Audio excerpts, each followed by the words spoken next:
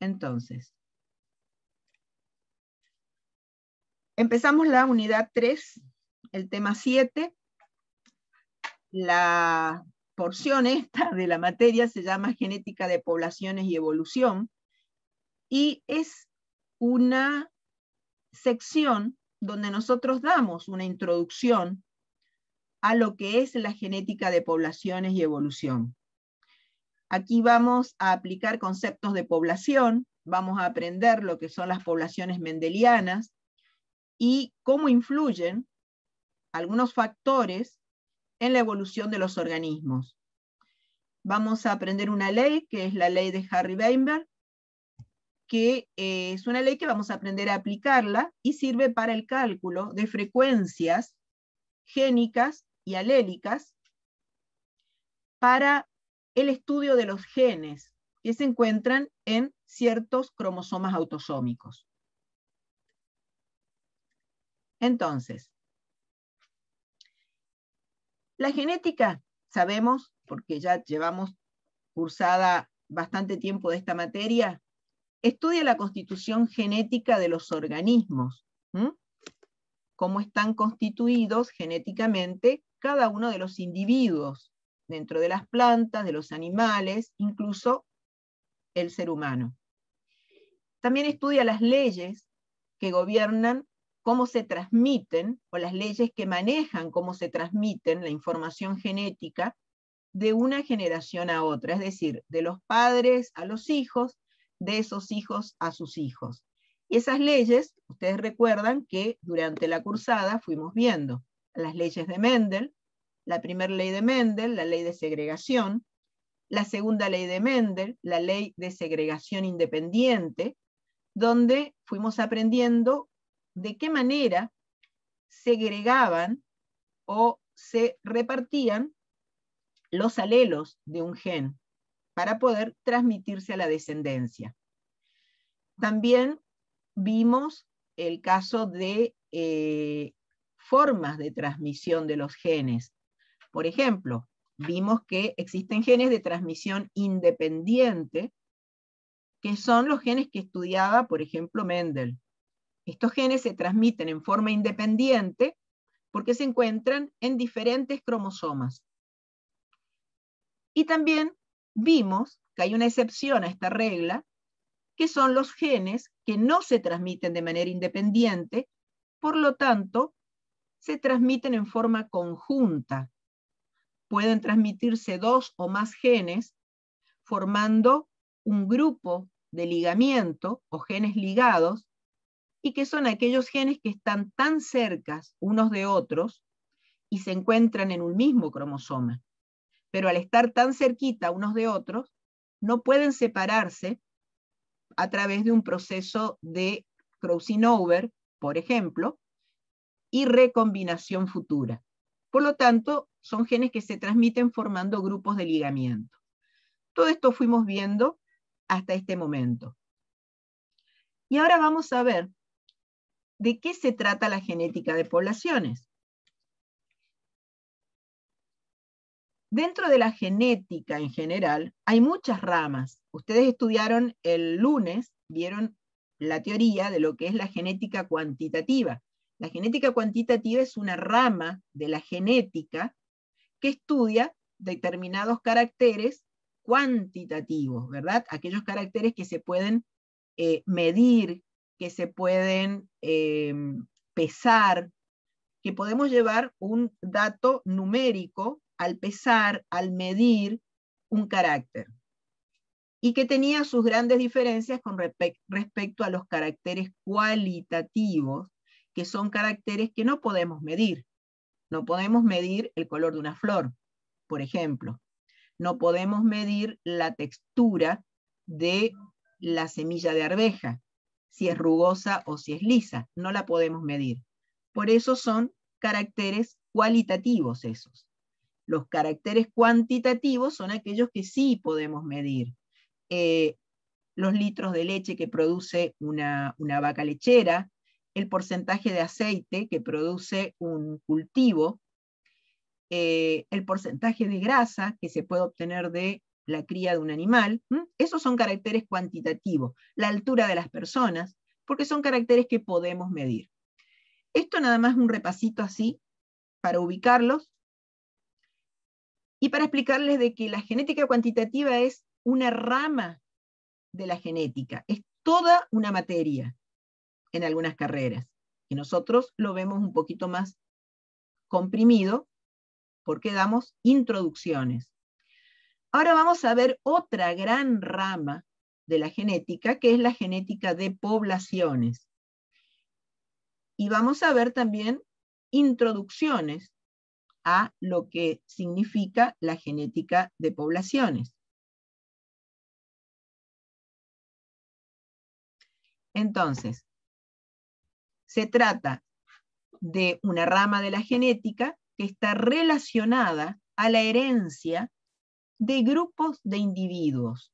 O sea, estudiamos la estructura genética de las poblaciones, de las comunidades, y estudiamos cómo se transmiten esa estructura genética, esos caracteres genéticos, de generación en generación. Fíjense en que en las imágenes ya no estamos viendo una planta de arveja, no estamos viendo un pingüino, una mariposa, un caracol, estamos viendo poblaciones de una especie de pingüinos, poblaciones de una especie de mariposas monarcas, poblaciones de caracoles, acá hay una población de una especie vegetal, pasto, pero es, fíjense, es todo igual, o sea que es toda una misma especie, y forman una población.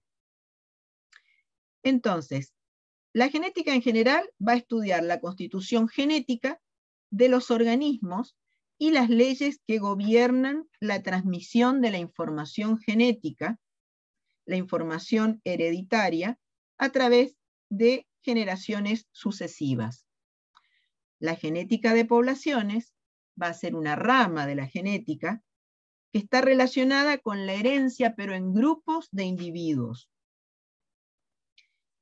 Entonces, vamos a estudiar las poblaciones y cómo se transmiten los caracteres heredables de generación en generación. Esos cambios hereditarios que pueden ocurrir en una población a través de varias generaciones van a marcar un proceso muy importante en la historia de una especie y que es su proceso evolutivo.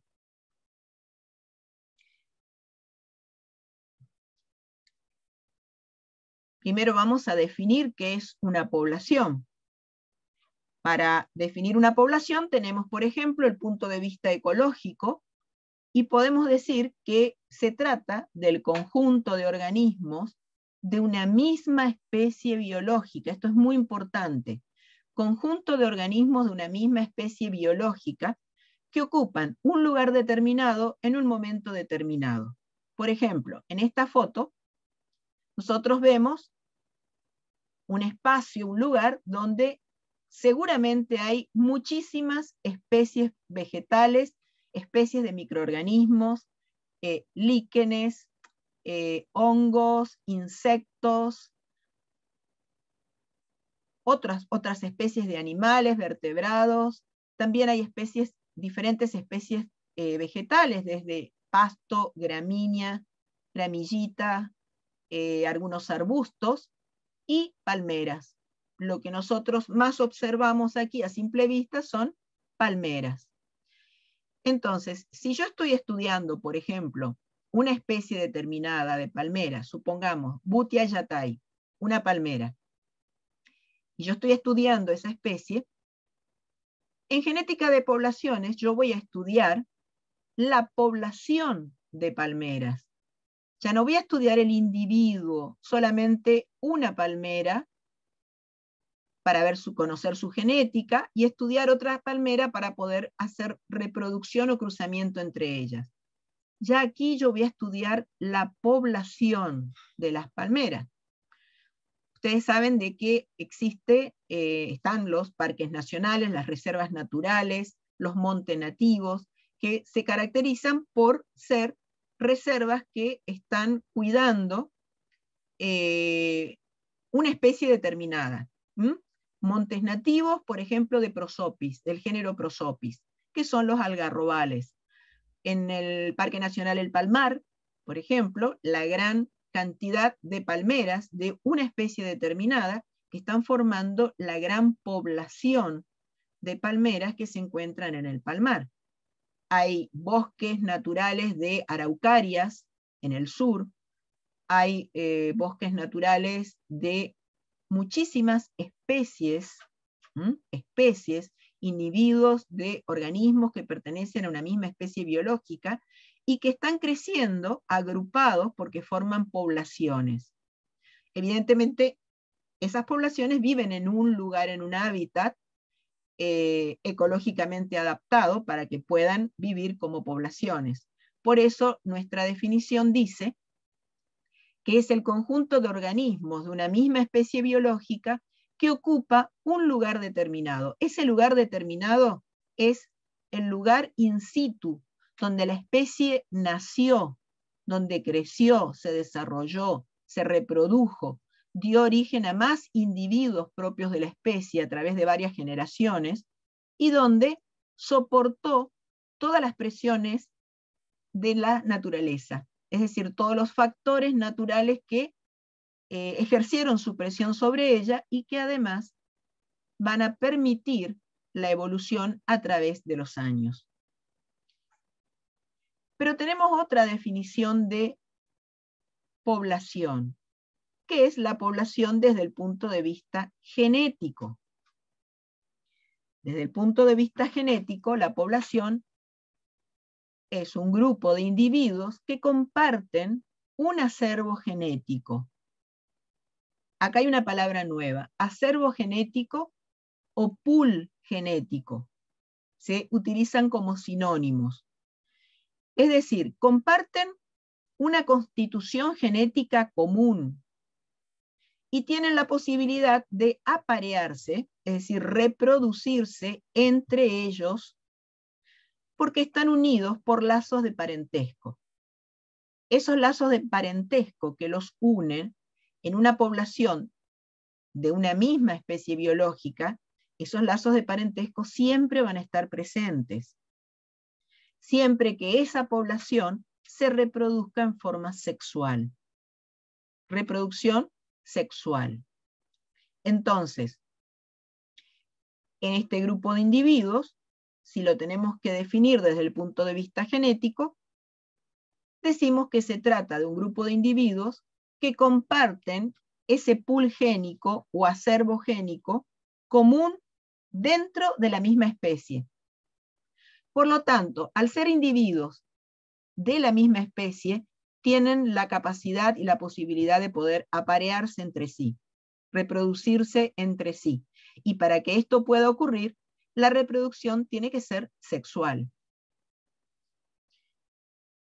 Ese conjunto de individuos que van a pertenecer a una misma especie, que tienen reproducción sexual, constituyen lo que se conoce como unidad reproductiva. Es decir, se reproducen mediante cruzamientos entre sus individuos, entre sus miembros. De esa manera, ahora yo pregunto, ¿por qué insistimos tanto en que debe existir reproducción sexual? A ver si alguno me puede responder. ¿Por la herencia? Que se dé la evolución. El producto final es la herencia, de alguna manera transmitir los caracteres hereditarios a la descendencia. Pero para que esto ocurra, ¿por qué decimos allá en un principio. Tiene que haber meiosis. Bien. Y para que haya meiosis, más atrás todavía, ¿qué es lo que tiene que existir? ¿Y la reproducción sexual? Sí. Pero la meiosis se lleva a cabo ¿dónde? ¿Se produce en qué células? Las gametas. Exacto. Por lo tanto, al haber reproducción sexual, sabemos que tiene que haber combinación de gametas. Tiene que haber intercambio de información genética de una planta y otra planta, que son las que se van a reproducir sexualmente, por lo tanto, tendrán que intercambiar información genética al combinarse las gametas. Al combinarse las gametas, que por ley de probabilidades hay una gran variedad de posibilidades de combinaciones, esto va a ser transmitido a la descendencia y de esa manera se va a poder seguir manteniendo en la próxima generación los caracteres heredables que les dieron sus padres. Y esa nueva generación, también por reproducción sexual entre ellos, van a volver a generar nuevas combinaciones para pasárselas a la próxima generación. Y así, generación tras generación. Esto es muy importante porque es lo que nos abre un abanico de grandes variabilidades genéticas o posibilidad de variabilidad genética dentro de una misma población de individuos de una misma especie. ¿Estamos? ¿Alguna pregunta hasta acá? Sí, profe. Desde el punto de vista genético, eh, eh, quiere decir entonces que no, no necesariamente tienen que compartir el mismo lugar puede ser que sean, eh, que tengan el mismo acervo genético, pero que no estén en un, en un mismo lugar, puede ser de, un lugar y otro lugar, pero compartir el mismo acervo genético. Claro. En principio, sí, que eh, tengamos la misma especie, por ejemplo, Butia yatay, la palmera, en una región y la misma especie en otra región forma dos poblaciones aisladas, pero los individuos de una población van a formar esa población en ese lugar y los individuos de la otra población que están en un lugar más alejado formarán su población en otro lugar más alejado. ¿Se entiende? Entonces, la reproducción sexual va a ocurrir dentro de cada una de esas poblaciones que pueden estar alejadas por kilómetros. No sé si respondí tu pregunta. Sino lo que yo decía es que entre esas dos poblaciones se pueden hacer cruzamientos, no es, o sea, no, en, la primera es solo de, un, de una población que está ocupando un lugar determinado en un momento determinado, o es lo mismo para las poblaciones desde el punto de vista genético. Eh, estamos viéndolo desde dos puntos distintos.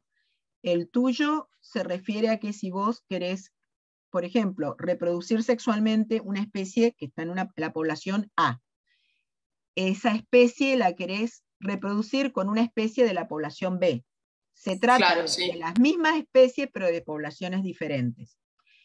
Eh, en este tipo de estudio de genética de poblaciones, lo que estás haciendo es trabajar con individuos con un individuo, tomás un individuo y tomás un individuo de la otra población. O sea, ya no estás haciendo genética de poblaciones, sino que estás trabajando como un cruzamiento entre dos individuos. ¿Se entiende? Y aparte estás dirigiendo el cruzamiento, lo estás controlando. Ah, claro, el cruzamiento tiene que ser natural, digamos. Por eso te decía que si yo tengo una población A en el norte con una especie A, y tengo una población B de la misma especie, pero en el sur, cada una de esas poblaciones tienen individuos que tienen que reproducirse dentro de su población, para que podamos hablar de un estudio del acervo genético de ese eh, localizado, digamos, de esa población en especial. Por eso tienen que estar en un mismo lugar y su reproducción tiene que ser natural. Ajá, entiendo. Ahora quedó mejor, armadito. Sí, sí. Bien. Entonces. Profe. Sí. Entonces, ¿el acervo genético es el conjunto de genes que comparten unos individuos o los alelos iguales que comparten algunos individuos? Ahora vemos vamos a ver las diferentes eh, opciones de conceptos de acervo genético, pero imagínate que tenés una piscina, por eso también se llama pool génico. Pool en inglés es piscina, pileta. Imagínate una gran pileta que está llena de eh, alelos, alelos, alelos dominantes, alelos recesivos, y tenés los genotipos, dominante, homocigota dominante, heterocigota, homocigota recesivo, todo, todo eso, la pileta está llena de alelos y eh, genotipos. Esa pileta tiene todos los alelos y genotipos de una población de una especie determinada. O sea, toda la constitución genética de esa especie determinada que está formando una población. Eso vendría a ser un acervo genético. Es un acervo genético común ¿eh? para toda la población. Son los alelos, los genotipos compartidos por esos individuos dentro de una misma población, que esa población está constituida por individuos de la misma especie. O sea, el conjunto, o sea, la constitución genética de esa población. ¿Se entiende? Pero siempre asociando la palabra, la palabra población con una misma especie.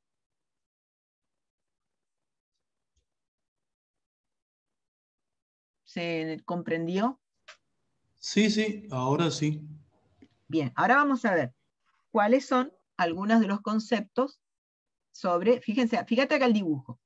Por ejemplo, yo esto lo asocio como si fuera una gran pileta, un pool, donde se encuentran todos los alelos de los genes. El gen D tiene el alelo recesivo, el alelo dominante del gen A, el alelo dominante del gen D, un alelo recesivo del gen D, y alrededor razas de perros, por ejemplo. Entonces, vamos a tener un gran pool génico con todos los alelos y en algunos determinados que van a tener una característica fenotípica muy especial que será propio de su raza. ¿Ven cómo se separan? Vamos a tener ciertos alelos dominantes o recesivos que van a ser propios de este individuo.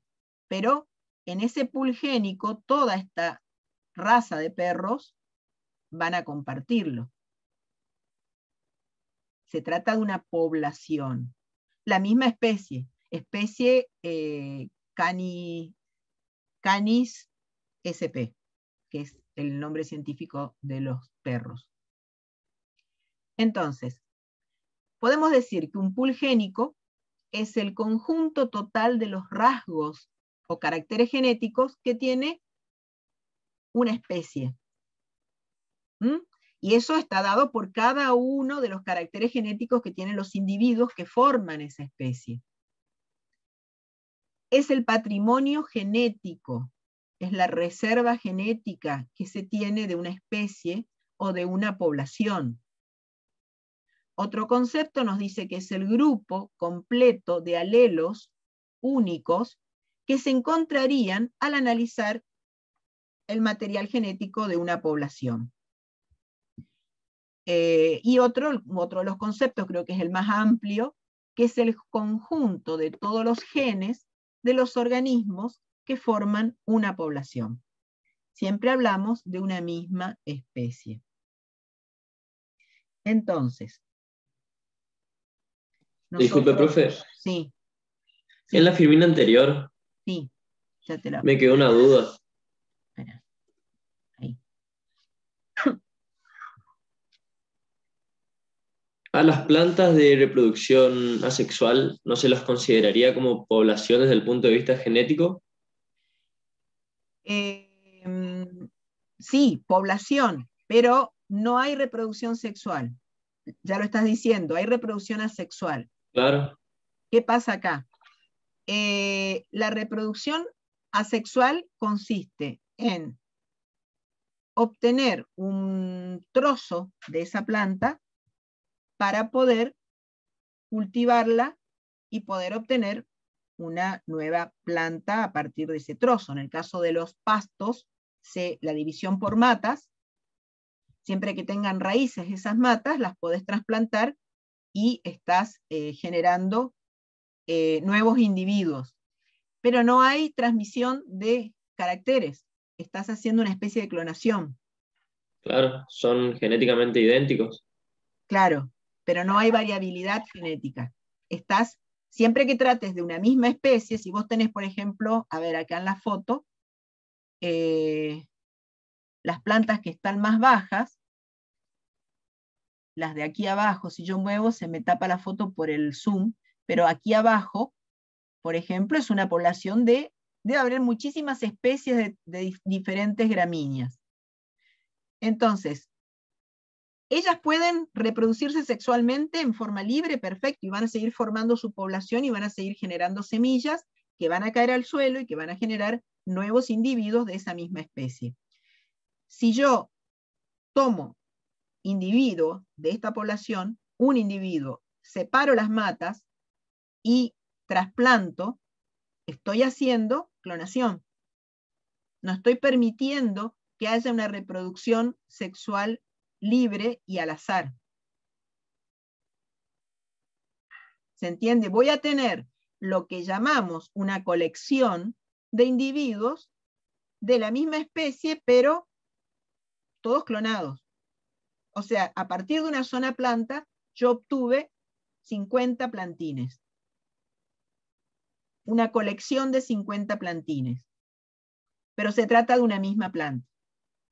No hay eh, variabilidad, eh, no hay variabilidad genética. Ahí eh, se parecen todos a la madre. No hubo intercambio de gametas, ¿entendés? Claro, claro. No sé si respondí tu pregunta. sí, sí, sí, yo quería saber si se las tomaba como poblaciones, ¿no? uno lo dice como poblaciones, uno lo, uno lo puede comentar como, poblaciones o como colecciones, pero desde el punto de vista eh, específico de lo que significa la palabra, la palabra población, no sería lo correcto para el caso de plantas de reproducción asexual o ah, agámica, o agámica.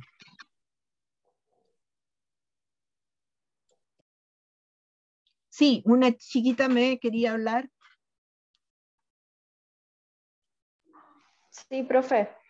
Yo le quería decir, em, entonces tomamos em, el concepto de población en cuanto eh, a genética, em, teniendo en cuenta la reproducción sexual como parámetro, digamos, eh, a, lo que tener en cuenta, de con lo cual diferenciar de lo demás, digamos. Claro, las plantas, y esto se te va a aclarar más a medida que vayamos avanzando. Se trata de individuos que tienen que reproducirse sexualmente. Sí.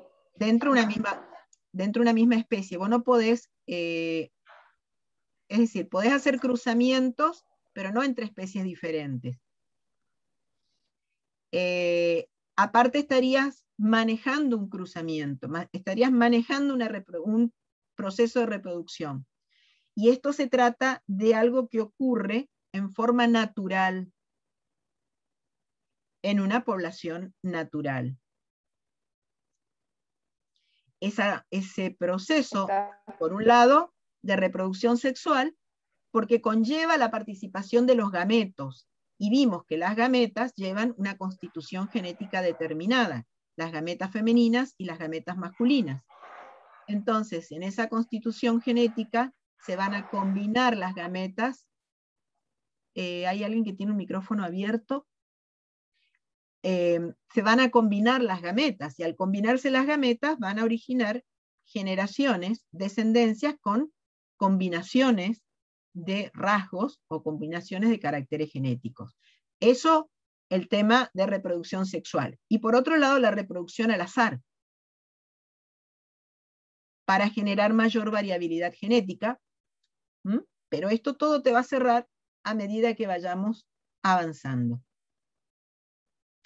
Entonces, nosotros tenemos que tener en cuenta todo esto que estuvimos viendo, de que los individuos, cada uno de los individuos, planta, animal, insecto, eh, el ser humano, no somos entidades aisladas, sino que estamos de alguna manera agrupados, formando poblaciones, formando comunidades, formando pequeñas poblaciones o grandes poblaciones.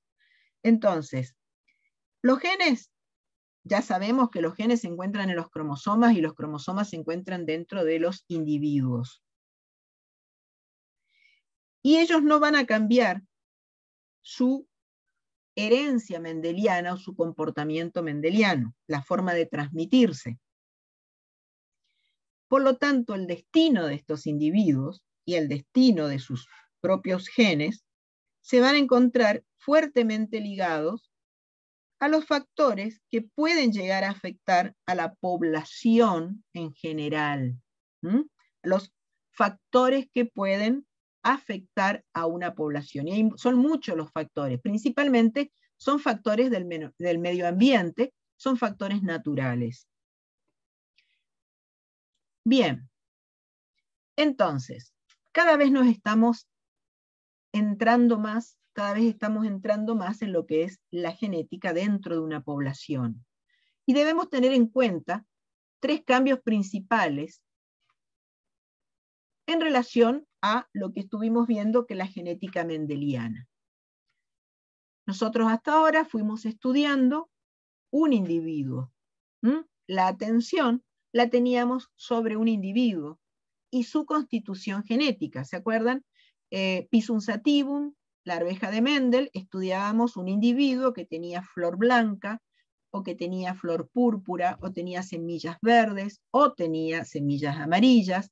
Era un individuo. Y luego estudiábamos un individuo, por más que formábamos líneas puras, pero tomábamos un individuo de cada línea para poder cruzarlo. ¿Mm? Pero, eh, María Florencia, ahí viene tu, acerca de tu pregunta. Tomábamos un individuo de una línea pura y un individuo de la otra línea pura y lo cruzábamos. Dirigíamos el cruzamiento. Y no dejábamos de estudiar en la constitución genética de un individuo en particular. En cambio ahora, lo que hacemos es estudiar la población de esos individuos. En el caso de la ovejita, vamos a estudiar a toda la población que vive en una región determinada o vive en un lugar determinado, pero que pertenecen a la misma raza.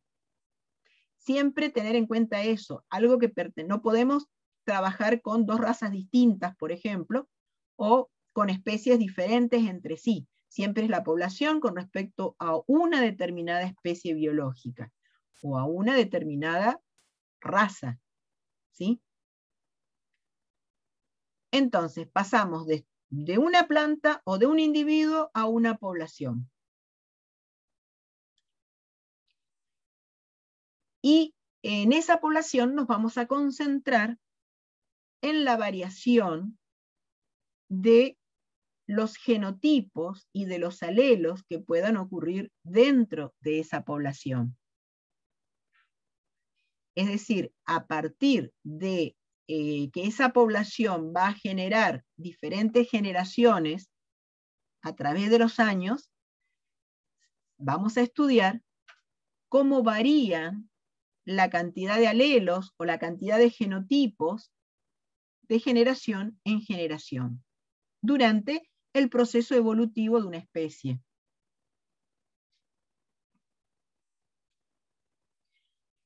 Eh, esto tiene que ver mucho con una escala de tiempo. Cuando se habla de genética de poblaciones, eh, los cambios que puede haber de una generación a otra, o cambios que puedan haber dentro de la población, se eh, manejan por años, decenas de años, miles de años, cientos de años, incluso hasta millones de años, para que pueda aparecer, originarse y ponerse en evidencia un cambio determinado en una población y esto conlleva a la evolución de ese grupo. Profe, sí. Es como el video que usted mandó de las bacterias. Ah, sí. Sí, lo has visto. Hace 30 años estudian esa misma población y eh, debido al el, ambiente era el mismo, y, pero solas evolucionaron sin cambio de, temperatura ni nada.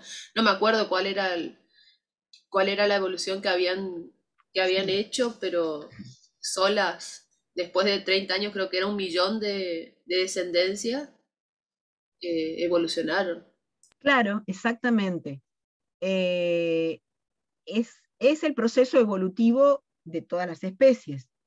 Tienen que pasar miles de años, millones de años o muchas veces eh, centenares, o sea, poco menos de miles de años, y de pronto aparece una evolución dentro de esa especie o un proceso evolutivo, que va a ser un proceso de adaptación. Bien. Entonces, tenemos también lo que se conoce como una población mendeliana. ¿Mm? Esto también es un concepto nuevo. La población mendeliana es una comunidad o es un conjunto de individuos que se aparean entre sí. Acá volvemos al tema. Se aparean entre sí, se reproducen entre sí por medio de reproducción sexual. Eso es una población mendeliana, un grupo de individuos que se aparean entre sí por reproducción sexual.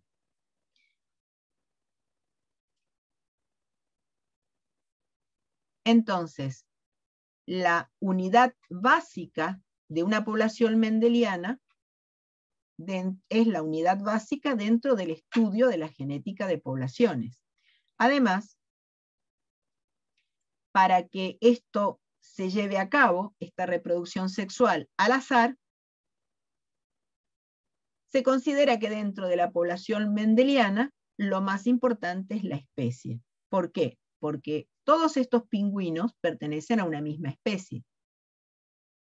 Es una población de pingüinos que pertenecen a una misma especie. Eso les permite poder aparearse entre sí y generar descendencia.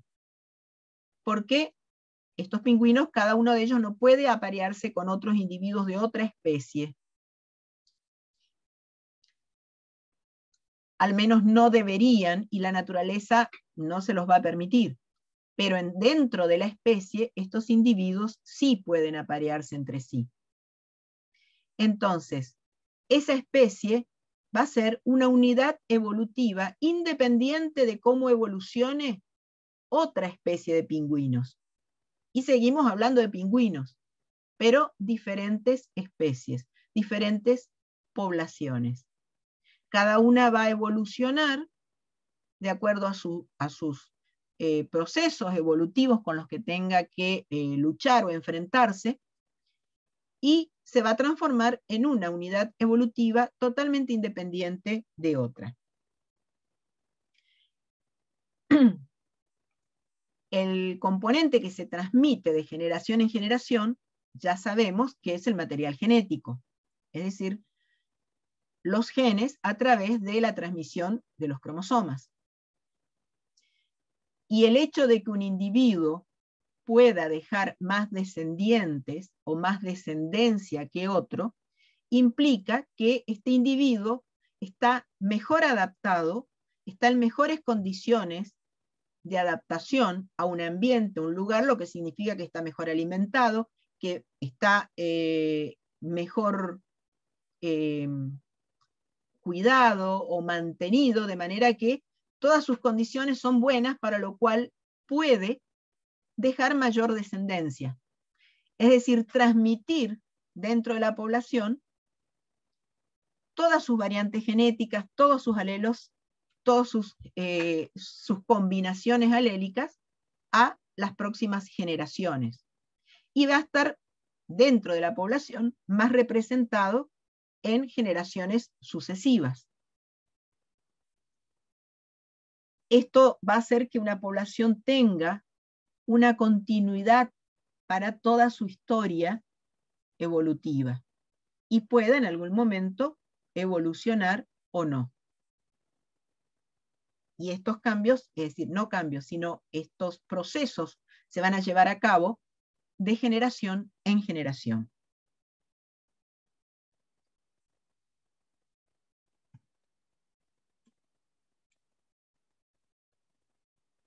Entonces, lo que puede ocurrir es que las frecuencias de los distintos alelos lleguen a cambiar de generación en generación. ¿Qué significa? Las frecuencias de los distintos alelos, la cantidad de alelos o la cantidad de genotipos que se encuentren o que aparezcan o se formen a través de las distintas generaciones.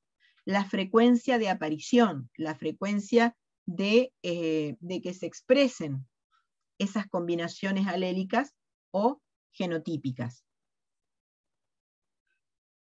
¿Se entendió hasta aquí? ¿Alguna pregunta? Profe, ¿qué mínimo de individuo debe haber en la población para hacer estos estudios? Mira, se trata de poblaciones grandes. Es decir, eh, más adelante cuando veamos un poco de la parte de frecuencias en poblaciones, eh, lo que se pide como premisa es que la población sea grande a infinita.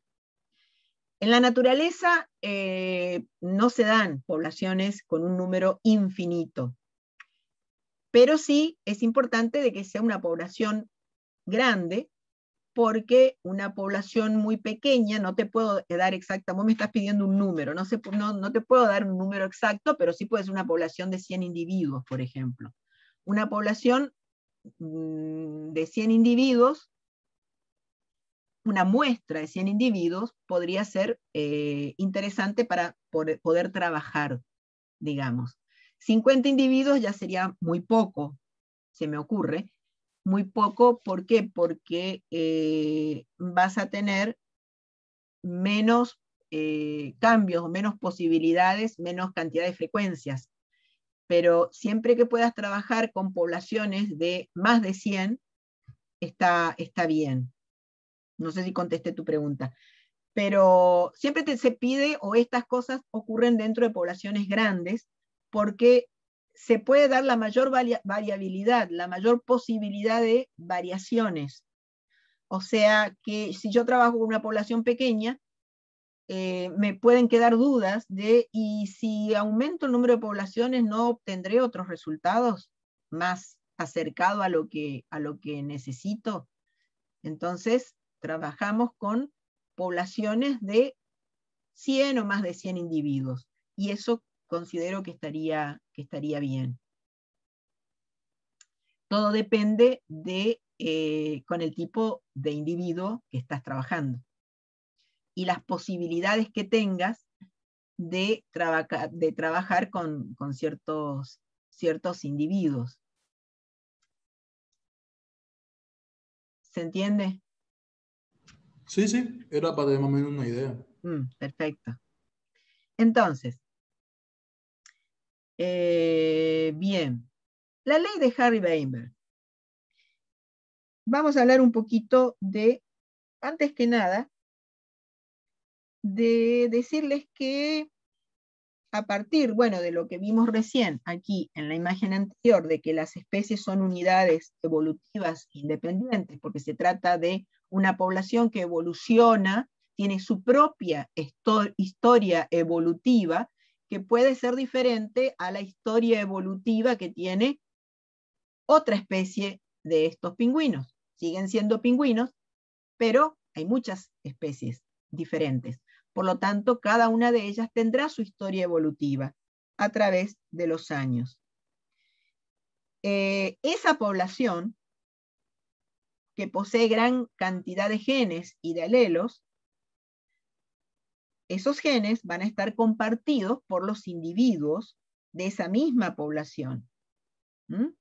Población mendeliana, ¿por qué? Porque son individuos de reproducción sexual y porque se reproducen al azar. Entonces, todos los genes de estos individuos de una misma población van a formar el pool génico de esa, de esa población o el acervo génico de esa especie. Entonces, para poder entender la genética de los procesos evolutivos, nosotros estudiamos el pool génico, el acervo génico de una población, de una población mendeliana, en lugar de estar estudiando el genotipo de cada uno de los individuos, que es lo que fue, lo estuvimos haciendo hasta ahora, estudiando el genotipo la constitución genética de individuos en forma independiente. Entonces, entendiendo la estructura genética de una población, esto es muy importante para que podamos entender la importancia que van a tener los recursos genéticos y la importancia que van a tener los genes en la conservación de las especies y en la conservación de la biodiversidad. Sí, han, escuchado hablar de la biodiversidad o de la importancia de eh, preservar eh, los bancos de germoplasmas, los bancos genéticos. Eso significa preservar los genes, conservar los genes dentro de una especie. Por eso se mantienen siempre las especies en sus lugares in situ, en sus lugares de origen, porque allí están adaptadas y allí pasaron toda su historia evolutiva. Hablamos de plantas, hablamos de animales, hablamos de insectos. Entonces, la ley de Hardy-Weinberg, esta ley nos va a permitir a nosotros poder calcular las frecuencias, esa famosa frecuencia de la que estuvimos hablando, la cantidad de genes, de alelos o de genotipos que pueden llegar a tener o a ocurrir o a variar dentro de una población y a través de las distintas generaciones en las, en las poblaciones nosotros podemos observar el fenotipo, ¿se acuerdan? El fenotipo que se trata de los rasgos o los caracteres que se pueden observar. No podemos observar el genotipo y no podemos observar la constitución genética, ni podemos ver los genes, pero sí podemos ver la expresión de estos genes a través del fenotipo que expresa un individuo. Entonces, la variación en los pool génicos o en el acervo génico se va a expresar en términos de frecuencias, frecuencias genotípicas o frecuencias génicas o alélicas, es decir, la cantidad de genotipos que haya en una población o la cantidad de alelos dominantes o recesivos que hayan en una población. Esas son las frecuencias genotípicas o frecuencias génicas o alélicas.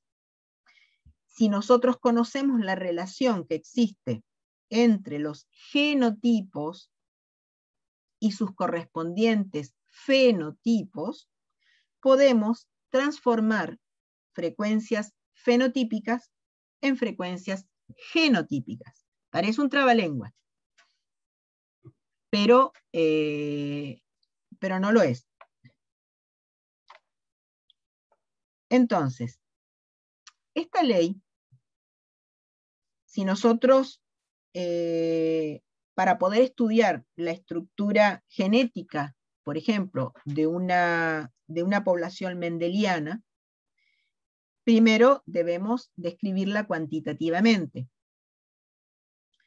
para lo cual, para esa descripción cuantitativa, debemos calcular las frecuencias de las que veníamos hablando recién, tanto las genotípicas, que van a ser aquellas frecuencias genotípicas, van a ser la cantidad de homocigotas dominantes, la cantidad de heterocigotas, la cantidad de homocigotas recesivos que pueden existir en una población.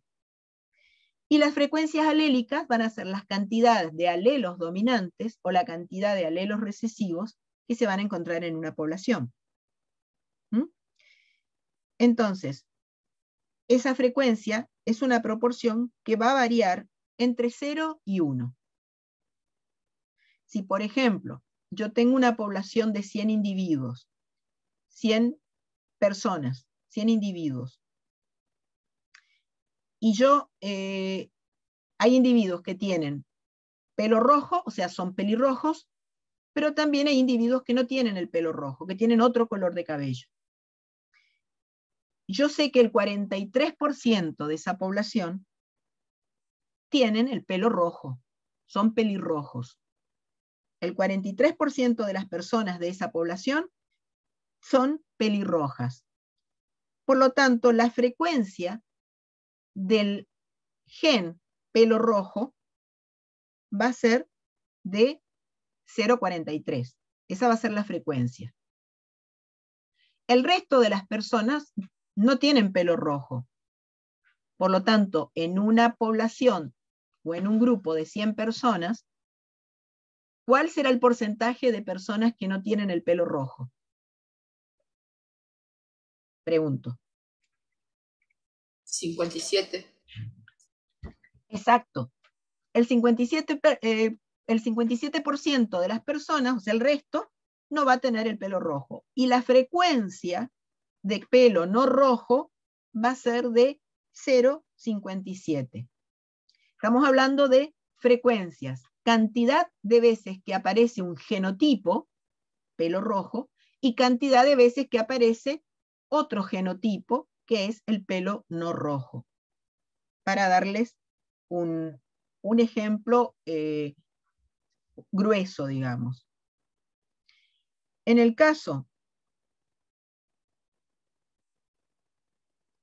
de que tengamos que estudiar frecuencias alélicas, es decir, la cantidad de veces que aparece un alelo dominante o un alelo recesivo,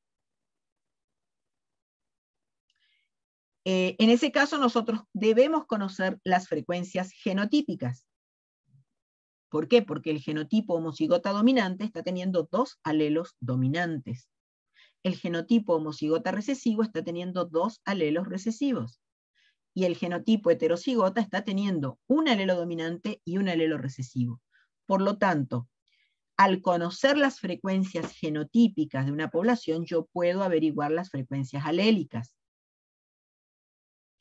Entonces, esas frecuencias genotípicas van a ser utilizadas para poder determinar los efectos de ciertos procesos evolutivos sobre la población. Y en muchos casos se utiliza la frecuencia de los alelos para poder describir cómo cambia en el tiempo ese pool génico dentro de la población, o sea, la constitución genética dentro de la población.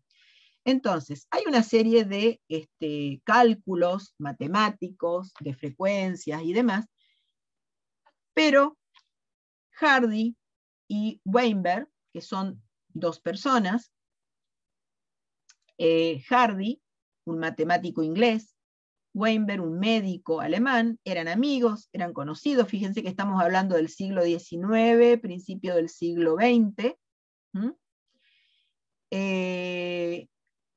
El médico estudiaba un caso de eh, un carácter genético, la polidactilia.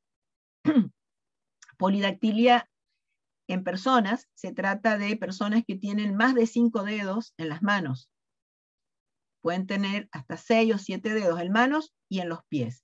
Y es un carácter genético que se eh, transmite, podría llegar a transmitirse. Em, este Hardy, y les paso una especie de eh, flash, no sé si han visto la película, una película de un eh, estudiante hindú matemático que eh, estaba haciendo bueno, su doctorado en matemática y fue muy importante para, para, la matemática. Si han visto la película con el actor, es el que hizo eh, Si quieres ser millonario, el, actor hindú. En esa película, ese, el mentor, el profesor, el director de, ese, de ese científico, matemático, eh, era Hardy. Quien haya visto la película se va a acordar. Eh, era Hardy. ¿Cómo se llama? ¿Perdón? ¿Cómo se llama la película? ¿No se acuerda? No me acuerdo ahora, pero algo de las matemáticas. Ah, el hombre, el hombre matemático o el hombre sin fin o algo de los números, algo así. Em, el Hardy fue el mentor de ese muchacho, una historia muy linda, muy linda, se las recomiendo si la pueden, si encuentro después en internet el nombre, se los paso. Pero es para que sepan que Hardy existió. era su mentor, era un matemático eh, muy inteligente, brillante, bueno, existió, y eh, conversando con Weinberg, que era un médico que tenía el, es la historia de esta familia que tenía polidactilia, bien contada la historia, va a estar en un audio que se los voy a subir al, aula virtual también, que es eh, un audio donde cuenta la historia el ingeniero Norman, Así que ahí tienen para también, es una parte de eh, una pequeña teoría de genética de poblaciones. Interesante para que la escuchen porque es una historia que él cuenta. Bien, ambos se asocian para poder resolver el problema que estaba teniendo Weinberg con respecto a que si esta polidactilia se podía transmitir de generación en generación dentro de una familia. Entonces, ellos eh, llegan a la conclusión de eh, hipotetizar esta ley que luego se denominó ley de Harry Weinberg en homenaje a sus autores. Y esta ley sirve de base para la genética de poblaciones, debido a que este, nos, nos brinda una simple explicación de cómo los principios mendelianos de la segregación influyen en las frecuencias alélicas y en las frecuencias genotípicas en una población. Nada está separado de nada. En genética todo está relacionado. Entonces aparece esta ley que le dan el nombre en honor a, los dos, a Hardy y a, y a Weinberg. Y la ley está refiriéndose justamente al cálculo de las frecuencias de genes y frecuencias de genotipos dentro de las poblaciones mendelianas, que son aquellas poblaciones de individuos que se reproducen sexualmente y al azar. Entonces, la ley propone que bajo ciertas condiciones, dentro de una población que está bajo ciertas condiciones ideales, las frecuencias de los genes deberían permanecer constantes de generación en generación. Quiere decir que no deberían variar de una generación a otra, sino que deberían permanecer constantes. Entonces, postulan una ley que dice que en una población con apareamiento al azar, las frecuencias alélicas y las frecuencias genotípicas permanecen constantes de una generación a otra siempre y cuando no exista migración, mutación ni selección natural. ¿Qué quiere decir esto?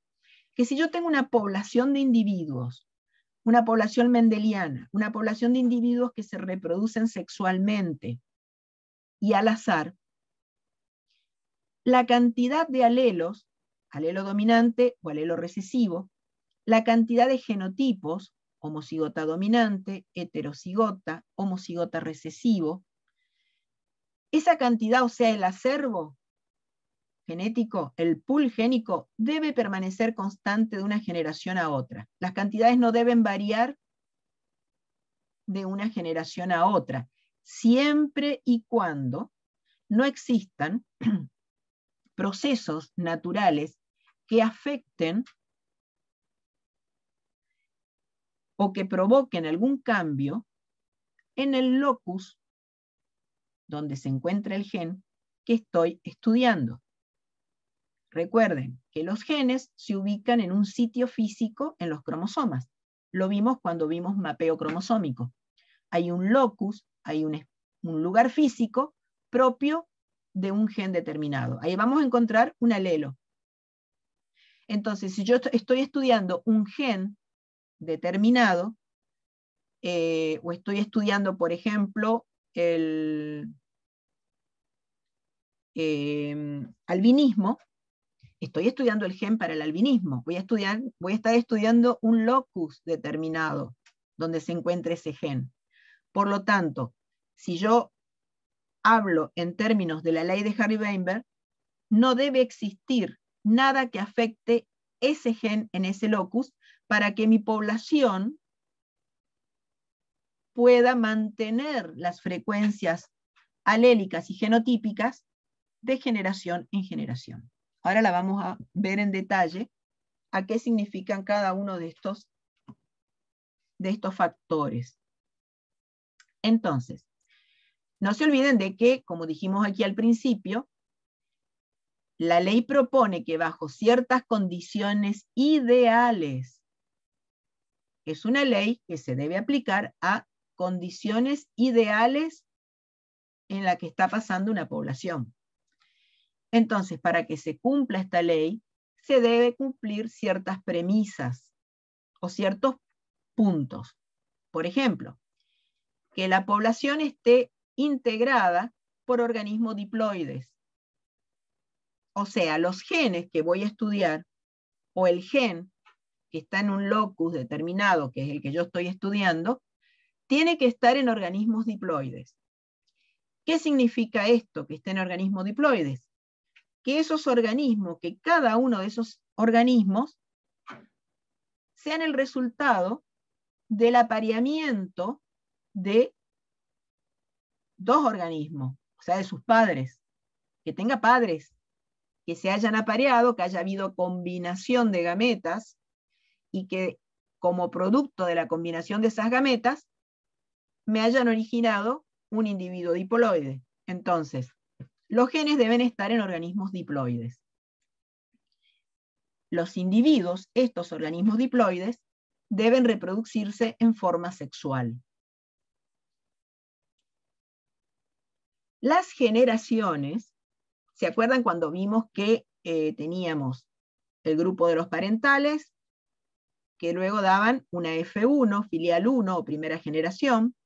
El cruzamiento de esa primera generación me originaba la F2, segunda generación.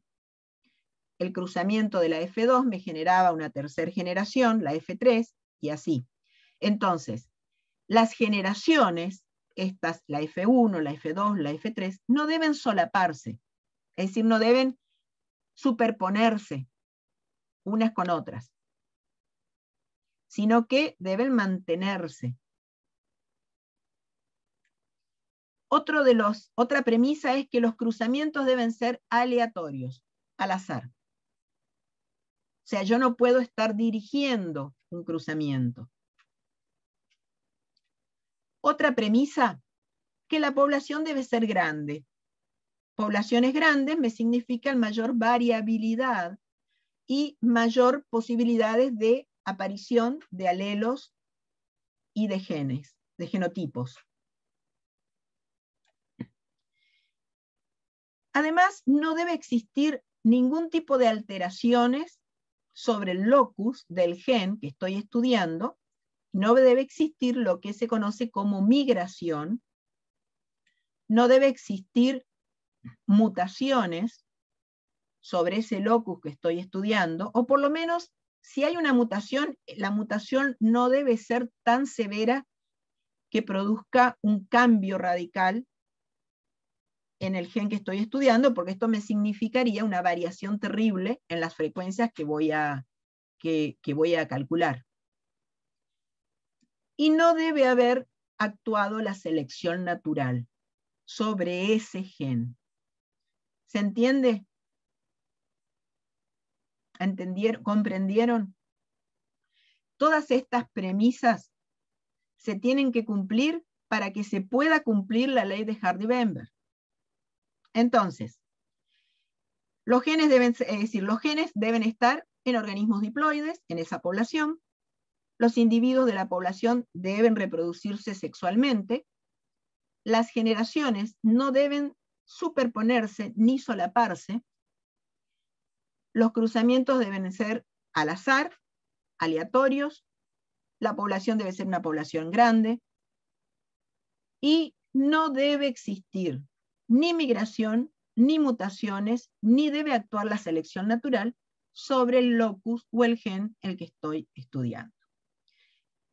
Entonces, yo pregunto, nosotros podemos constituir, si yo tengo, si no estamos nosotros somos, a ver, somos 28, recién había 30 y pico. Supongamos que somos 100, 100, 200 alumnos o 500, 500 alumnos del grupo 3 de genética que estamos en, un, en el Zoom, allá en el, en el aula de usos múltiples en la facultad. Estamos dando clase, estamos todos, y yo pregunto, ¿constituimos una población mendeliana? 500 alumnos de genética, todos en el salón de usos múltiples de la facultad, como sea, somos una población de individuos. Yo les pregunto, ¿somos una población mendeliana?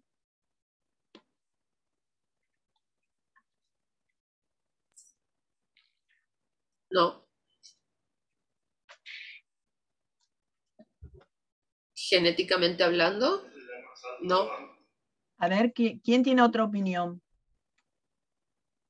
¿Quién tiene otra opinión? Y sí, podríamos ser una población mendeliana. A ver, ¿por qué? Eso es interesante. Javier. Porque por la definición que nos había dado, dice que era un grupo de individuos que se podían aparear para reproducirse. Ajá. ¿Somos diploides? Sí. ¿Somos de reproducción sexual? Sí. Consideramos, consideremos que nuestras generaciones no se solapan porque nuestros padres se reprodujeron entre sí, dieron origen a sus hijos y nosotros no podemos eh, aparearnos con nuestros padres porque estaríamos solapando generaciones, ¿verdad? Tampoco podemos aparearnos con la próxima generación nuestra porque sería apareamiento con nuestros propios hijos.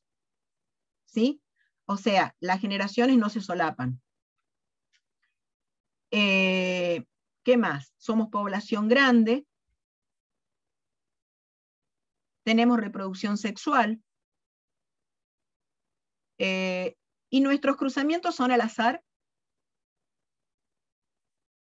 Y creería que sí, sí, somos, de todos lados, no somos de todos los colores, pero somos de todos lados, o sea, totalmente al azar, conocer gente totalmente nueva en la facultad, no, no sé si me explico. O sea que si estás encerrado en un salón con 500 personas, varones y mujeres, y nuestro cruzamiento es reproducción sexual y al azar, eh, quiere decir que yo apago la luz, cierro la puerta, me voy, los dejo todos ustedes ahí y la reproducción es al azar. Me parece que van a ligar una serie de cachetazos. ¿Qué les parece?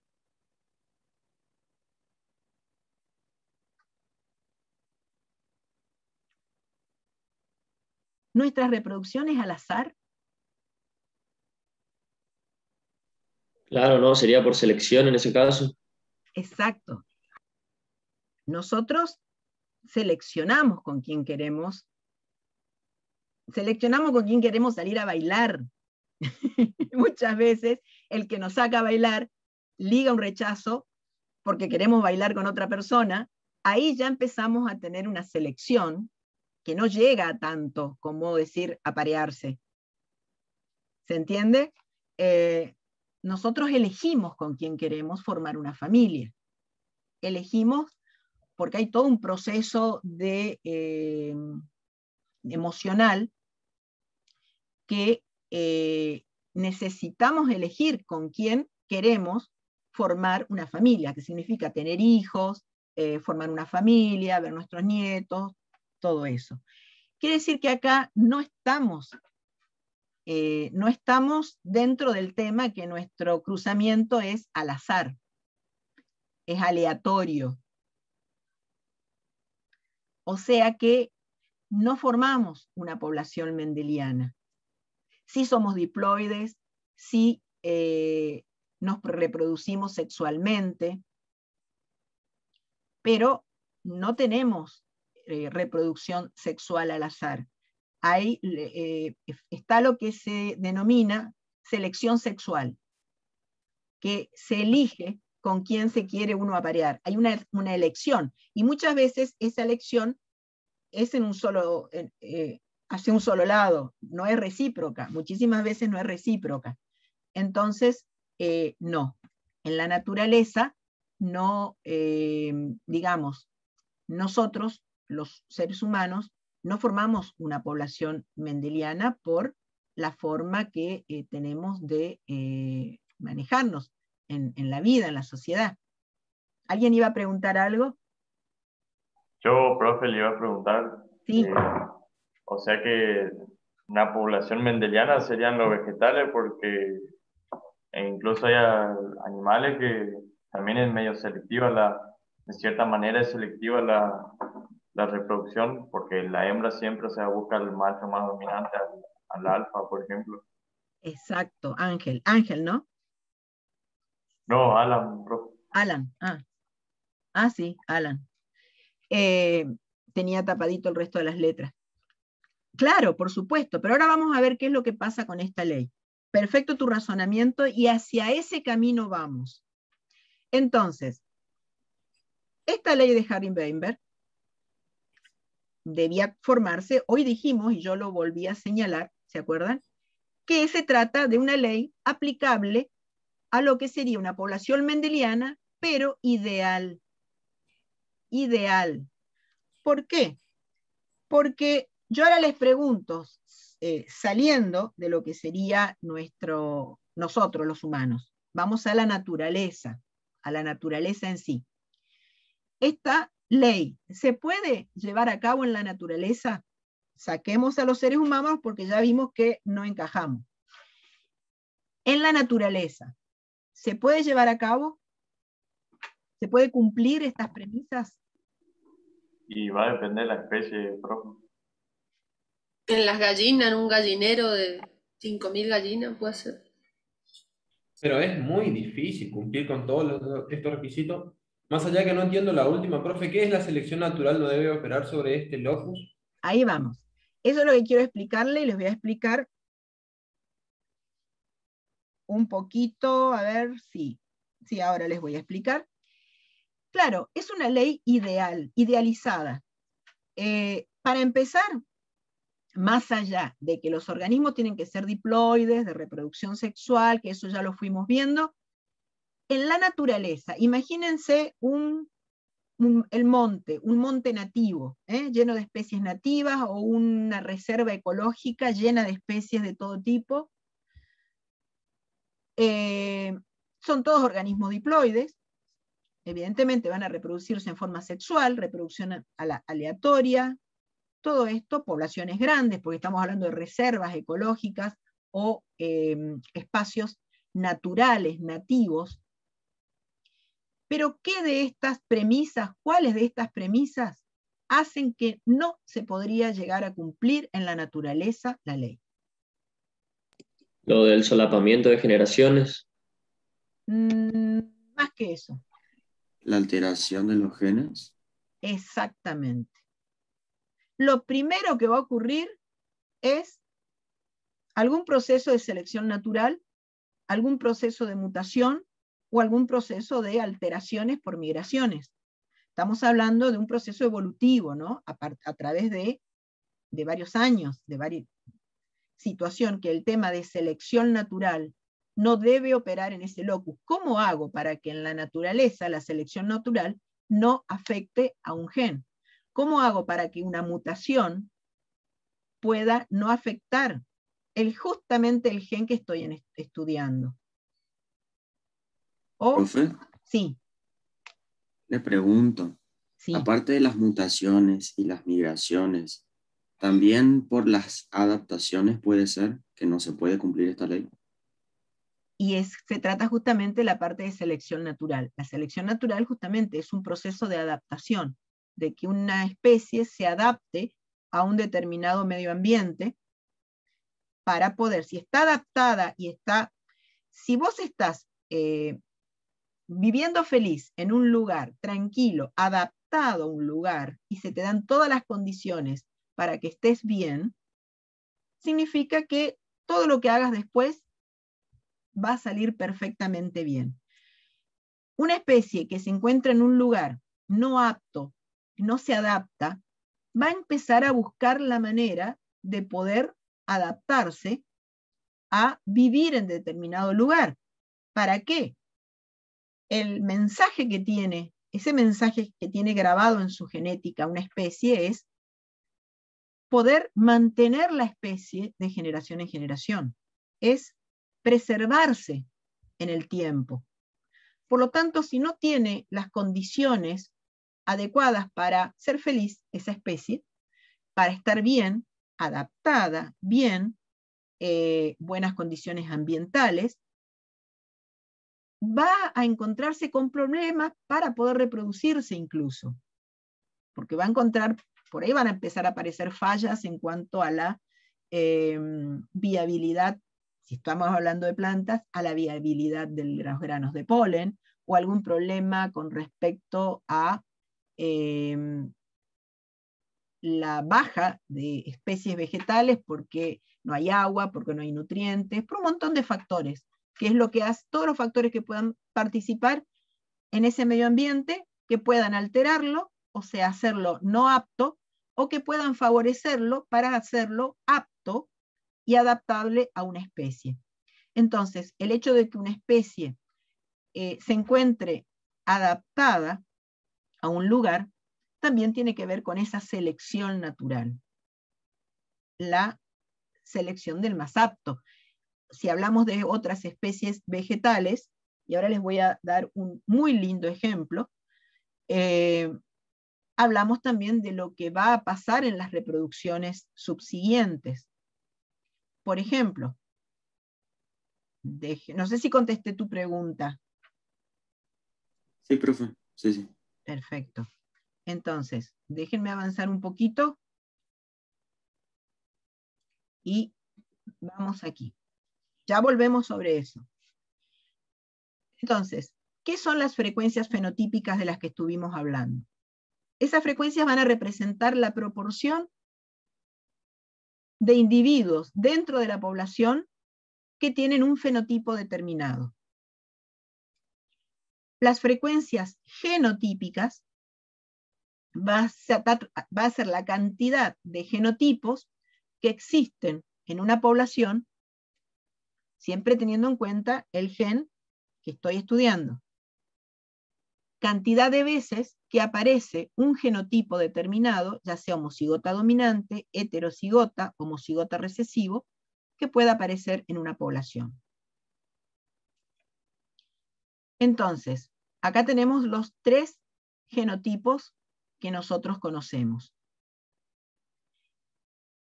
Las frecuencias genotípicas, con G, las genotípicas, va a ser la cantidad de veces que aparece el genotipo homocigota dominante, frecuencia de homocigotas dominante. La cantidad de veces que aparece el heterocigota, la frecuencia de heterocigotas, o la cantidad de veces que aparecen los homocigotas recesivos, es decir, la frecuencia de homocigotas recesivos. Todo esto que pueda haber en una población, en el pool génico de una población. Por eso hablamos de frecuencias. Es la, la asiduidad o la cantidad de veces que van a aparecer estos genotipos. Además tenemos que hallar las frecuencias alélicas o génicas. Es decir, la cantidad de veces de que cada uno de estos alelos, dominante o recesivo, aparecen en la población, en ese pool génico.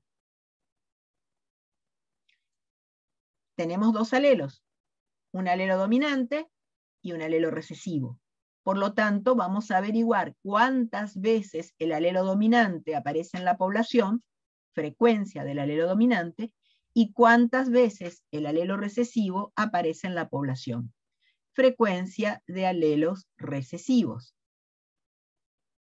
Con esto estamos averiguando las frecuencias genotípicas y las frecuencias alélicas.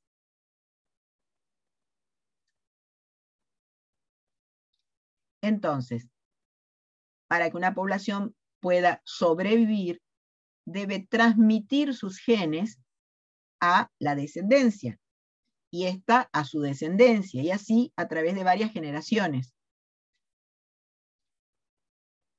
Por eso es importante que sean de reproducción sexual. Sabiendo el cálculo o sabiendo la frecuencia genotípica, yo puedo averiguar la frecuencia eh, alélica a través de una fórmula que, eh, digamos, que expresa elegantemente la ley de Harry Weinberg. La formulita es esta. Es una fórmula que es un, eh, una sumatoria de cuadrados donde supongamos que tenemos individuos o que solamente hay dos alelos, un alelo dominante A y un alelo recesivo A,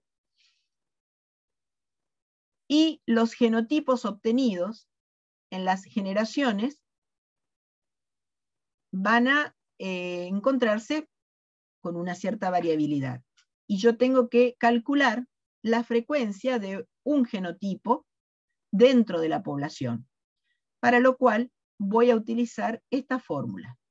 P al cuadrado más 2 por P por Q más Q al cuadrado. Igual a 1. ¿Por qué? Porque si el resultado de este cálculo dentro de la población, si el resultado de este cálculo me da un valor cercano a 1 o igual a 1, significa que esa población está en equilibrio. Y se dice que está en equilibrio Harry Weinberg. Entonces, si nosotros que tenemos un alelo dominante y un alelo recesivo, los reemplazamos por la letra P al alelo dominante y por la letra Q al alelo recesivo, esta P y esta Q cada una de ellas va a estar representando a las frecuencias alélicas. P representa la frecuencia del alelo dominante y Q la frecuencia del alelo recesivo. Por otro lado, tenemos las frecuencias genotípicas. El homocigota dominante, el heterocigota y el homocigota recesivo. Entonces, ¿qué letras van a llevar estos? Por ejemplo, yo tengo un cuadrito de Punet, ¿se acuerdan? el cuadro de Punet. Por un lado tenemos la frecuencia de los gametos masculinos, alelo dominante, alelo recesivo, y la frecuencia de gametos masculinos, alelo dominante, alelo recesivo. Sabemos que si una gameta femenina con un alelo dominante se combina con la gameta masculina, también alelo dominante, me va a dar un individuo homocigota dominante. Si la gameta de A dominante se combina con la gameta que lleva el alelo recesivo, me van a dar un individuo heterocigota. Lo mismo aquí. Una gameta que lleve un alelo recesivo combinada con una gameta que lleve un alelo dominante, me va a dar un individuo heterocigota. Y si una gameta femenina con alelo recesivo se combina con una gameta femenina de alelo eh, masculina de alelo recesivo, me va a dar el homocigota recesivo. Por lo cual, hasta ahora no estamos viendo nada nuevo. Esto ya lo habíamos visto. Nuestro cuadro de Punet, donde tenemos un homocigota dominante, dos heterocigotas, un homocigota recesivo. Si reemplazamos estos alelos por sus letras de frecuencias, P y Q, llamamos al alelo dominante A, P, y al alelo, dominante, al alelo recesivo A, Q, en la formación del homocigota dominante voy a tener P acá para el alelo dominante y P para el alelo dominante, es decir, P por P. P por P es P al cuadrado.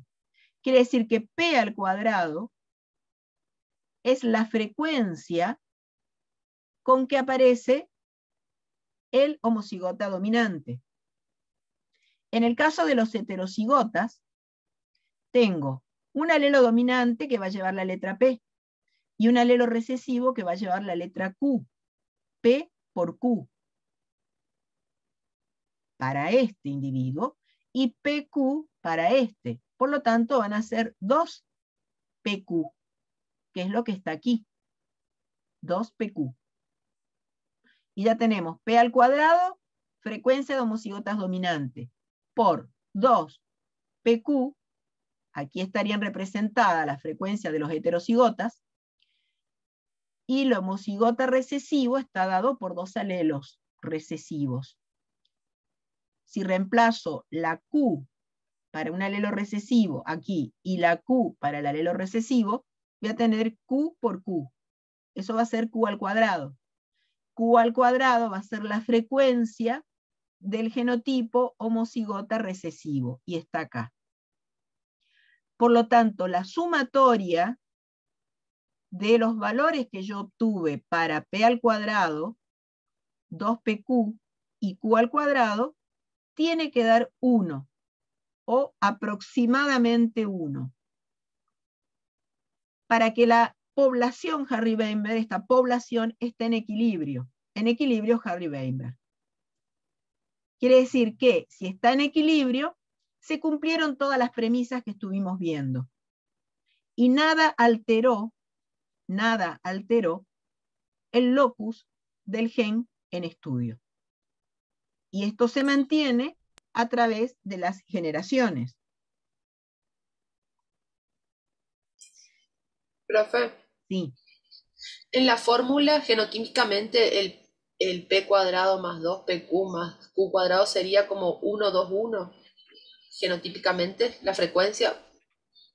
No quiero mezclarlo.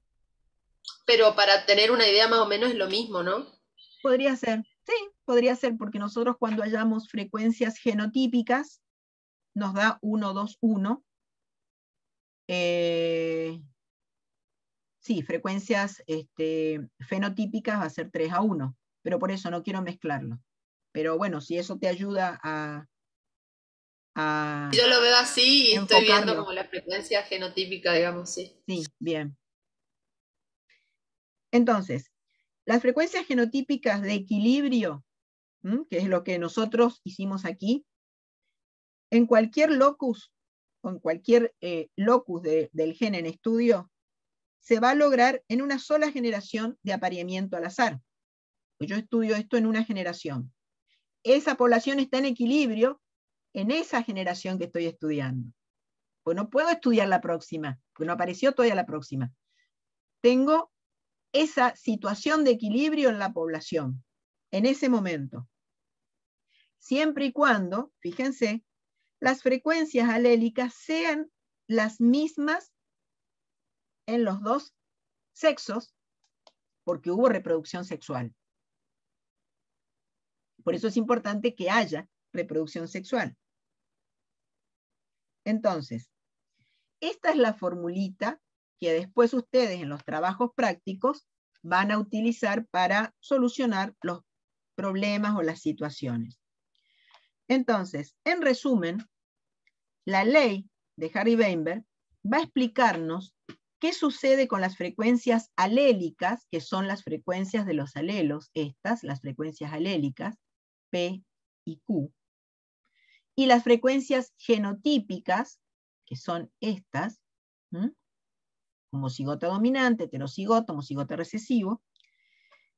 ¿Qué pasa con esas frecuencias en una población donde los alelos se transmiten de generación en generación, pero donde no actúan las fuerzas evolutivas? ¿Por qué? Porque la población está en equilibrio. Aparte, es una ley ideal, hipotética, idealizada si los requisitos que vimos recién, si las premisas se cumplen, se espera que los alelos se puedan combinar en una generación para formar los genotipos, o sea, la gran variabilidad de genotipos. en base a la simple, simplemente a una ley de probabilidades. ¿sí?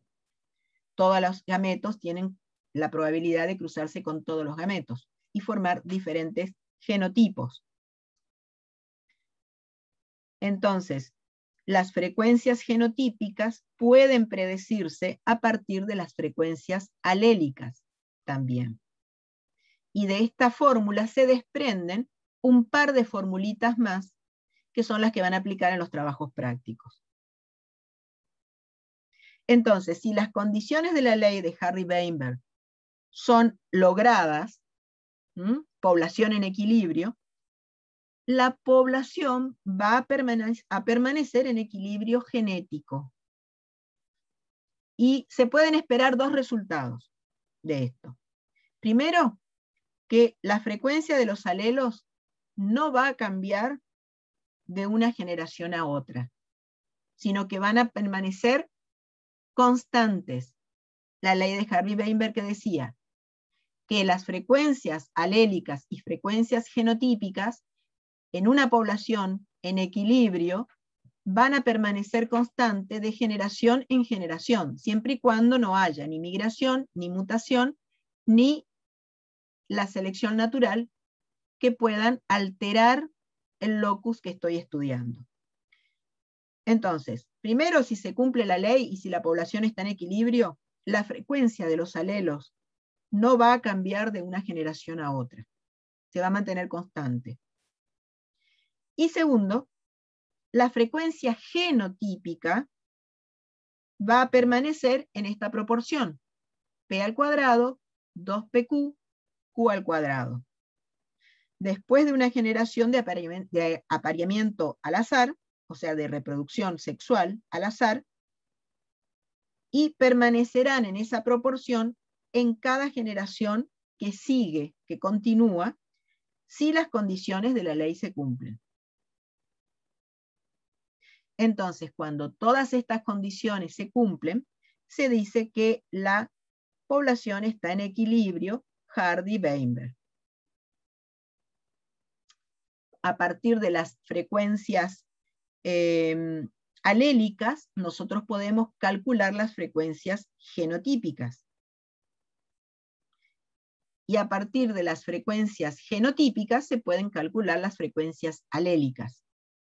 Siempre y cuando, ya saben, la población esté en equilibrio.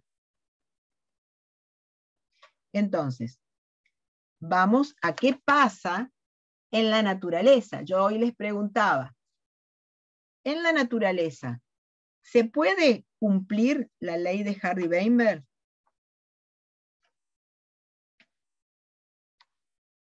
Volvemos a la pregunta de hoy.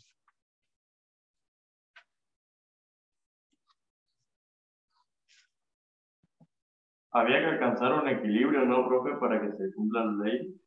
Exacto, tendríamos que tener un equilibrio y para alcanzar ese equilibrio se tiene que cumplir todas las premisas.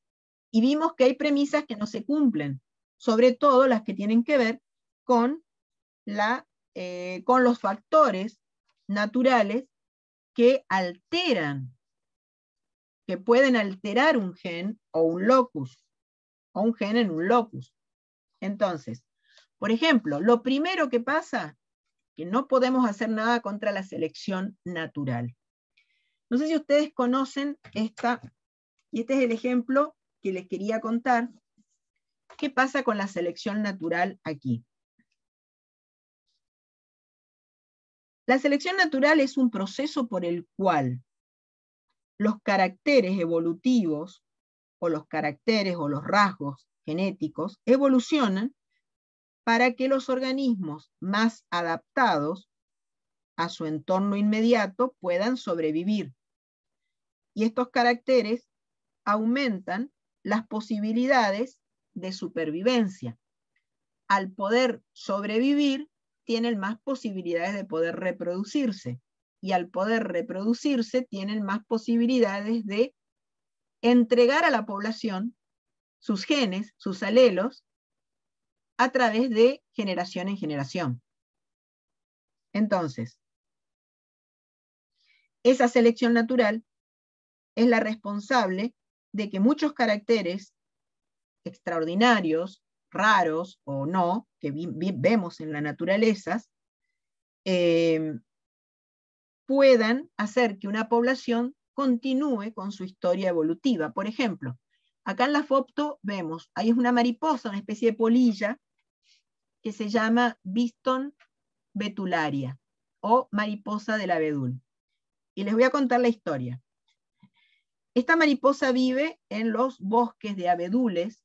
El abedul es, un árbol, un hermoso árbol, enorme, en Inglaterra. Vive en Inglaterra y eh, vive en el abedul porque allí encuentra un lugar propicio para poder eh, dormir, apoyarse, dormir, por eso se llama mariposa del abedul.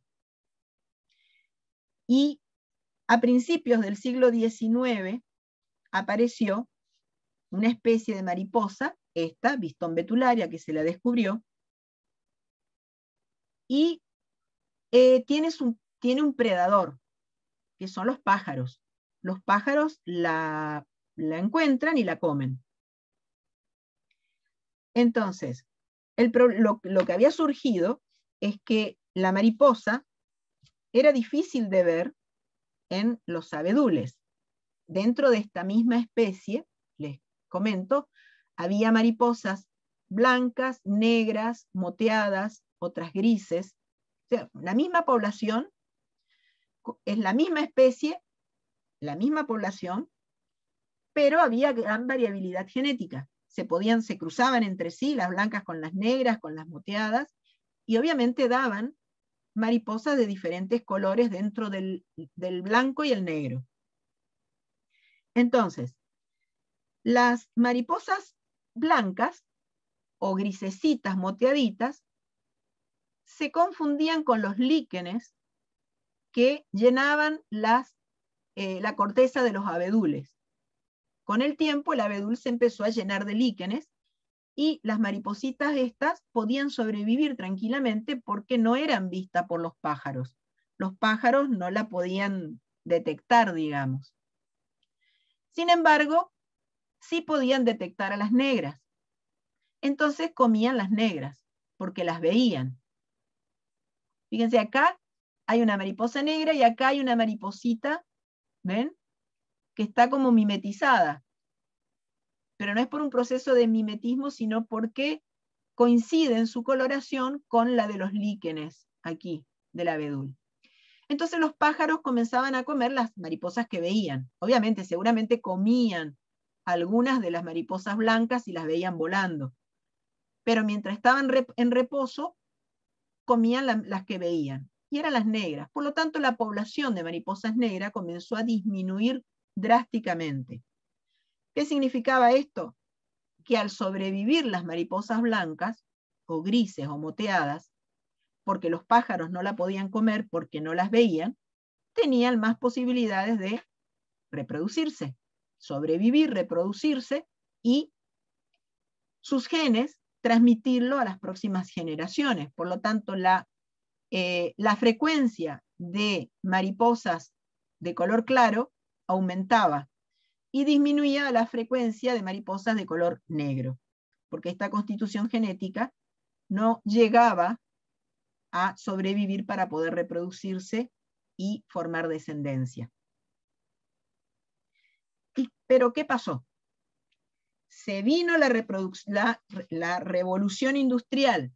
Estamos hablando de Londres, Inglaterra, revolución industrial, fábricas, gran polución, regiones de mucho smog, mucha polución, y todo ese humo que largaban las fábricas fue llenando la ciudad, Londres una de las ciudades eh, más eh, contaminadas en cuanto al, al aire, sobre todo en la época en que comenzó la revolución industrial, el humo comenzó a impregnar tanto la ciudad como los bosques, y con los años los abedules se fueron tiñendo del hollín. El hollín que se fue eh, asentando en los troncos de los abedules comenzó a teñirlos de color oscuro. Fueron pasando del gris, gris, gris oscuro, hasta un color casi renegrido. ¿Qué pudo haber pasado? ¿Qué les parece que pudo haber ocurrido? Se invirtieron los papeles para la mariposa, se mimetizaba más la negra que la blanquita. Exactamente. La mariposa negra comenzó a encontrar un lugar más adaptable para sobrevivir. Por lo tanto, pudo sobrevivir pudo reproducirse y pudo comenzar a este, formar generaciones de mariposas negras. Aumentó la frecuencia del genotipo de las mariposas negras y en un tronco de árbol más oscuro, las maripositas blancas o moteadas o grises comenzaban a ser vistas por los pájaros. Por lo tanto, los pájaros se alimentaban de ellas. Estas mariposas comenzó a disminuir su frecuencia. La frecuencia de los genes de esta mariposa blanca comenzó a disminuir, no sobrevivían para poder transmitir sus genes a la descendencia. Por lo tanto, eh, comenzaba su frecuencia a disminuir lentamente. Se invirtieron, se invirtieron los roles. Las mariposas no cambiaron. La genética de la mariposa negra siguió siendo siempre la misma, la genética de la mariposa blanca siguió siendo siempre la misma. Pero, ¿qué pasó? El medio ambiente que las rodeaba fue el que cambió, el que hizo de que una de ellas que estaba adaptada a un ambiente determinado ya encuentre hostilidad en ese ambiente. Por lo tanto, acá la selección natural, de alguna manera, eh, participó, porque los individuos no fueron los que se, es decir, se adaptaron cuando el medio ambiente se tornó adaptable para cada uno de ellos.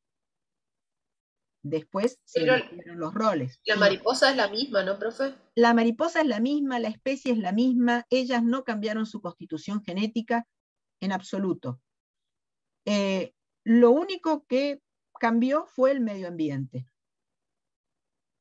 El hombre comenzó a generar humo, eh, las fábricas comenzaron a largar humo, que fue lo que tiñó, ni siquiera el abedul cambió su constitución genética el abedul siguió siendo la misma especie, pero hubo algo externo que produjo un cambio en el ambiente que afectó drásticamente la vida y el proceso evolutivo de una, de una, de una especie, la bistón betularia, la mariposita. La mariposa negra siempre fue negra, la moteada siempre fue moteada, y el cambio ocurrió sobre la población, pero a lo largo de varias generaciones por efecto de algo externo.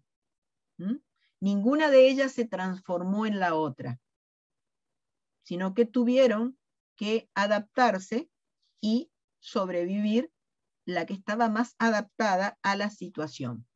Lo mismo puede ocurrir, por ejemplo, con el caso de las jirafas, que habrán leído muchas veces, cuando las jirafas Em, algunas poblaciones que tienen las patas delanteras y el cuello más largo, por lo tanto pueden llegar a alimentarse de eh, vegetal, de copa de los árboles, por ejemplo, que las que no tienen el cuello tan largo. En épocas de escasez de alimentación, ¿quiénes van a sobrevivir? Las que pueden llegar a la copa de los árboles más altos. Si, por ejemplo, por una gran sequía no hay vegetación a la altura de algunas. Y esto, esta adaptación, se va a ir transmitiendo. Para que esto ocurra, no ocurra de un día para el otro. Para que esto ocurra, tienen que pasar varias generaciones, muchas generaciones y muchos años.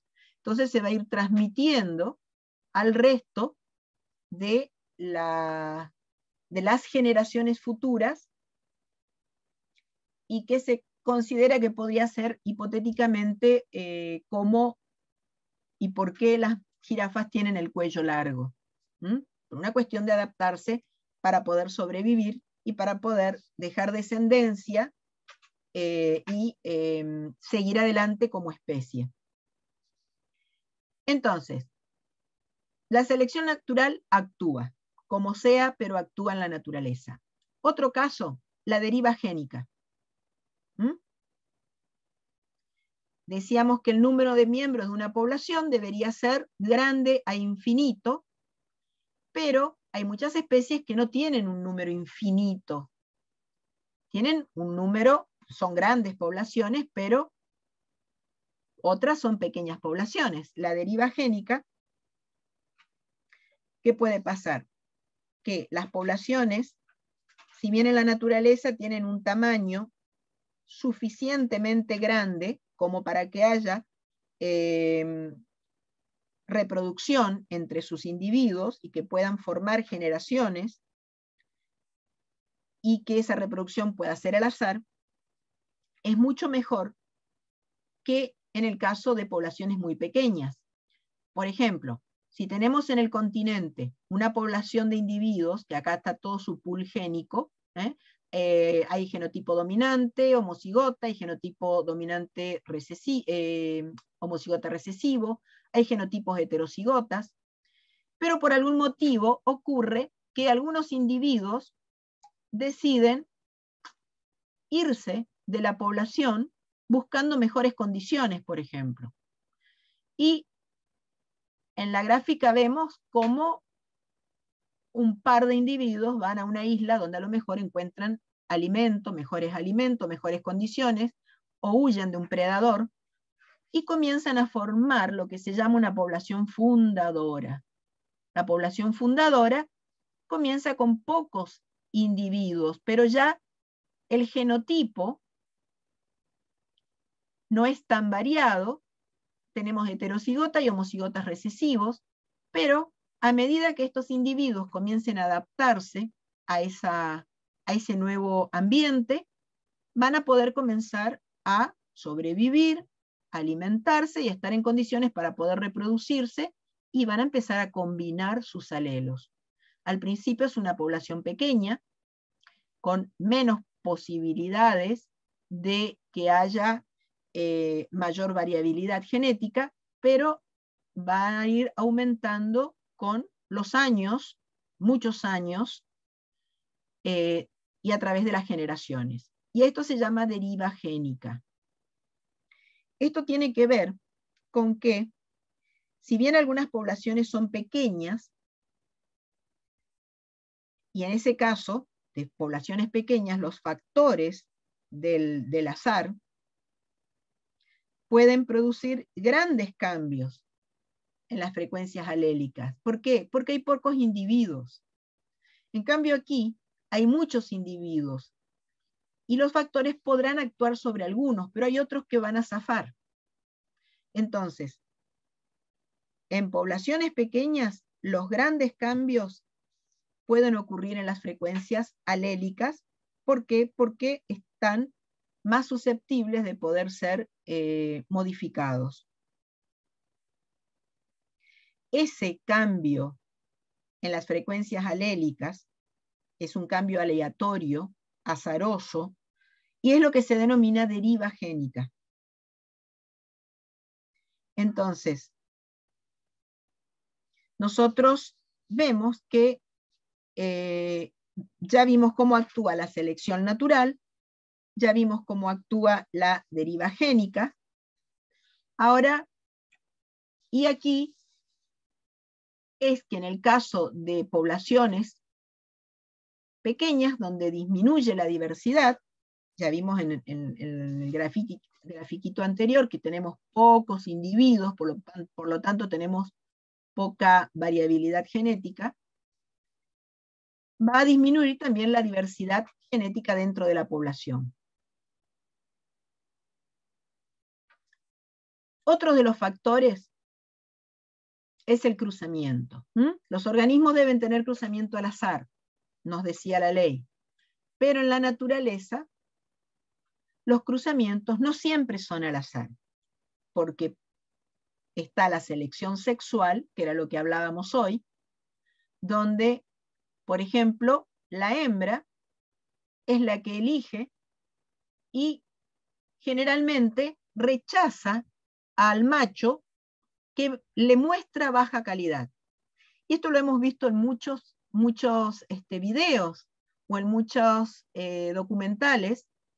Eh, los pájaros que no saben qué hacer para mostrar sus plumajes coloridos, que para sus formas de bailes saltan, eh, payasean, bailan, le ofrecen las mejores casitas a, la hembra para ver si la conquistan. Y aún así muchos son rechazados. O sea que no hay eh, reproducción al azar.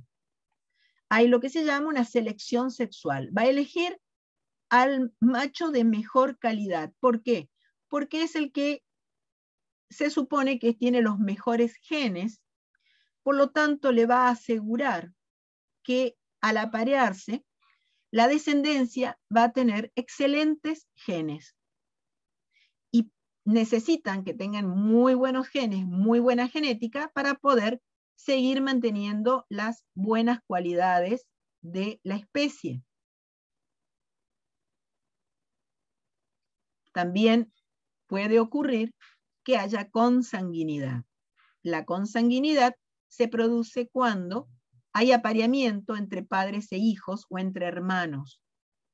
De esa manera, eh, los, los, genes se, eh, mejor dicho, los alelos comienzan a combinarse bajo un fenómeno que es el de la consanguinidad.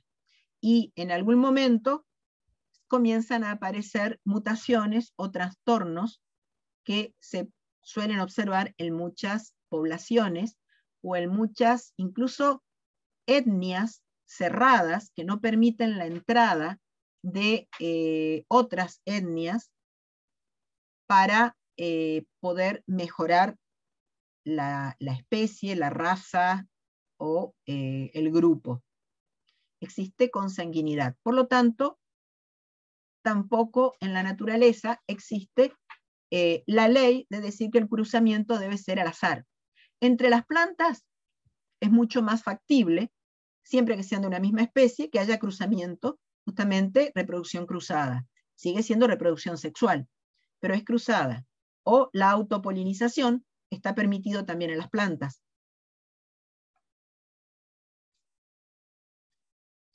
Bien. Eh, con respecto a que eh, esta ley también hace que al ser idealizada en la población no puede ni entrar ni salir genes que no sean de la población. Pero en la naturaleza puede haber mutaciones o puede haber migraciones. La mutación, por ejemplo, el caso de mutaciones, que es lo que vamos a ver a partir de la semana que viene, es uno de los procesos que puede alterar la frecuencia alélica dentro de una población. Se produce una mutación génica o puntual de un par de bases que puede cambiar dentro de lo que es la secuencia de ADN del gen, eh, se cambia por otro par de bases diferente y esto va a provocar una mutación en un locus determinado que muchas veces eh, se puede transformar en una característica más adaptable a ese ambiente y esto con los años, con, muchas veces con centenares de años, miles de años, esa mutación finalmente se, se transmite de una generación a otra, porque para que sea una mutación debe ser transmitida de una generación a otra, y finalmente podemos en algún momento llegar a tener una nueva especie. ¿Mm? Por eso en definitiva, las mutaciones son consideradas como la fuente de toda variabilidad genética. ¿Por qué? Porque puede llegar a haber nuevas combinaciones de alelos y pueden originarse que pueden originarse por recombinaciones y los nuevos alelos que se forman por la mutación se originan solo por mutaciones. Entonces, las nuevas combinaciones alélicas pueden formarse o por recombinación a través de eh, los procesos de reproducción, intercambio de gametas, o pueden originarse por mutación. Y si se generan por mutaciones, esto va a dar al material genético la posibilidad de generar nueva evolución. Y a través de los años, la evolución puede significar la formación de nuevas especies más adaptadas a determinados lugares.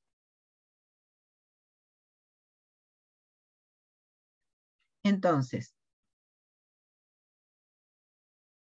el equilibrio Harry Weinberg se produce en una población si la población es lo suficientemente grande, cosa que vimos que en la naturaleza puede no ocurrir, porque además hay migraciones, hay deriva génica. Los apareamientos se tienen que producir al azar, lo cual vimos que en la naturaleza es difícil de que ocurra, ¿por qué? Por la selección sexual, por la consanguinidad. Eh, además, no deben existir mutación, ni migración, ni selección natural. Vimos que en la naturaleza existe mutación, existe migración, y la, la selección natural sí o sí ejerce su acción sobre las poblaciones en la naturaleza. Entonces, eh, no se cumple en la naturaleza y sí se puede cumplir en una población idealizada, para lo cual va a estar, si se cumple esta ley, se va a cumplir las premisas de la ley, por lo tanto vamos a tener una población en un equilibrio genético. Muchas poblaciones suelen ser pequeñas, el apareamiento no es al azar y puede ocurrir selección natural junto con las mutaciones y las, este, migraciones.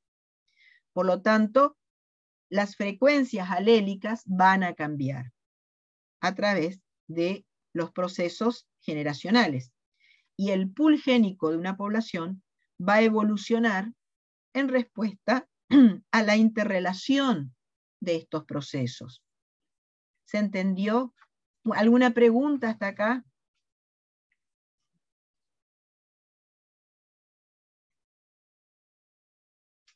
Entonces, ¿para qué nos sirve a nosotros la ley de Harry Bember si al final no se puede dar en la naturaleza? Bueno, sirve para conocer la estructura de un pool génico, sirve para estudiar eh, enfermedades en humanos, para estudiar, por ejemplo, eh, determinados caracteres en, en determinadas especies vegetales o animales, calcular las frecuencias alélicas y genotípicas dentro de una población, eh, calcular la cantidad de veces que aparece un alelo dominante o recesivo en una población, y calcular la cantidad de veces que aparecen los, los diferentes genotipos en una población. ¿Está? Así que voy a dejar de compartir.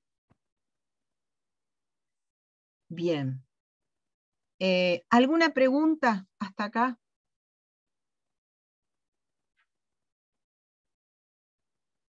¿Queda alguien en la sala? Sí, profe, acá estamos. Bueno, eh, es muy lindo, es muy lindo genética de poblaciones. Em, es, muy, es muy interesante, es muy lindo, es muy amplia, muy amplia.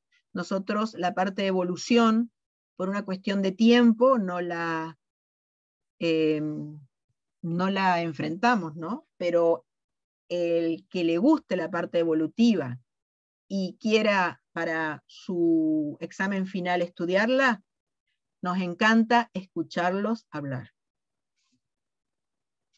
Así que el que quiera preparar como tema cuando rindan el final genética de poblaciones y entrar un poquito en la parte evolutiva, pero eh, más que bien estaría. Así que bueno, creo que terminamos con esta parte de la teoría. Em, la teoría está más adaptada a lo que ustedes van a utilizar en los trabajos prácticos, eh, que van a ver a partir de mañana. Y el video que está en el aula virtual, ahora yo ya le subo todo el material, está el, un apunte de genética de poblaciones, que es la traducción del libro donde nosotros preparamos las clases, eh, o sea que está este, avalado por la cátedra, no hay problema. Tenemos, eh, voy a subir esta clase, eh, y está el video de cómo hacer los trabajos prácticos, que también es una parte de teoría que quizás acá no haya, no haya entrado, pero que estaría bueno de que lo, lo escuchen también. Eso les va a abrir más el panorama para poder solucionar los, los trabajos prácticos. Entonces, bueno, si no hay ninguna otra pregunta, alguien que le quedó alguna duda.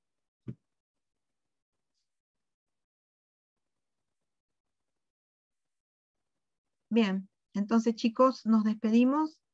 Vayan a almorzar. Gracias, profe. Nos vemos. Muchas gracias, profe.